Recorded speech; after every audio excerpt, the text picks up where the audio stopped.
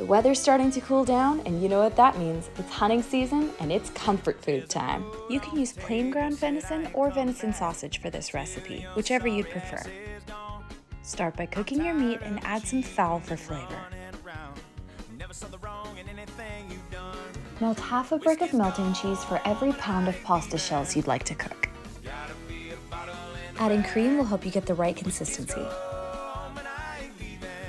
Pour your melted cheese onto your pasta shells. Mix well and add half a finely chopped red onion and a can of diced chili tomatoes. Line a foil baking sheet with some breadcrumbs, fowl, and dragon. Pour in your pasta, top with cheddar cheese, breadcrumbs, dragon, and a little more fowl. Add some sliced jalapenos, mozzarella, and onto the Traeger for about 30 minutes. As always, enjoy. For more delicious recipes, spices, and to pick up your copy of the cookbook, please come see us at theproviderlife.com.